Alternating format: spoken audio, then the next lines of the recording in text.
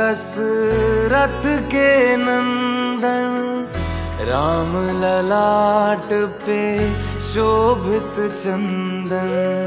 रघुपति की जय बोले लक्ष्मण, राम सिया का हो अभिनंदन। अंजन पुत्र पड़े चरण राम सिया जपते तन मन में। मंगल भवन अमंगल हारी।